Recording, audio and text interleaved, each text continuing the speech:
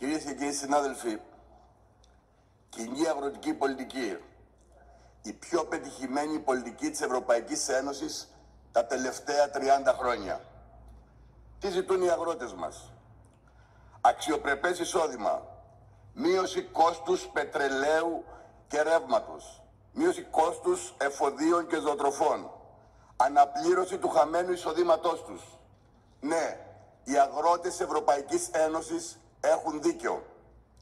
Τι προσφέρουν οι αγρότες μας; Επάρκεια τροφίμων στην Ευρώπη και εγγυημένη αγροτική ασφάλεια.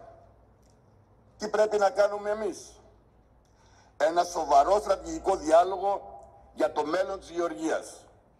Προτείνω τη δημιουργία ενός νέου ταμείου. Ενός νέου ταμείου δίκαιης μετάβασης για τη στήριξη του εισοδήματος των αγροτών όπως έχουμε κάνει ήδη για την Πράσινη Συμφωνία. Ναι, είμαστε υπέρ της προστασίας του κλίματος. Πάντα όμως με τους αγρότες και τους κτηνοτρόφους της Ευρωπαϊκής Ένωσης. Σας ευχαριστώ για την προσοχή σας.